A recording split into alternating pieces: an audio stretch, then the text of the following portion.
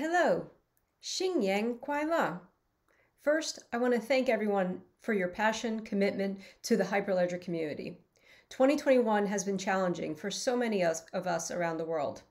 Together with contributions and support from our communities, we have made incredible progress.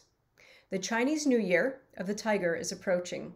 In traditional Chinese culture, the tiger is a symbol of luck, bravery, and strength. We, the entire Hyperledger Global Foundation team, have been inspired with the spirit of the tiger, and we're ready to face the challenges. We are determined to foster the premier open source community of software developers building enterprise blockchain, distributed ledgers, and related technologies with all of you. On behalf of the entire Hyperledger Foundation team, I wish you and your family a very happy, healthy, and successful Year of the Tiger. Happy Chinese New Year.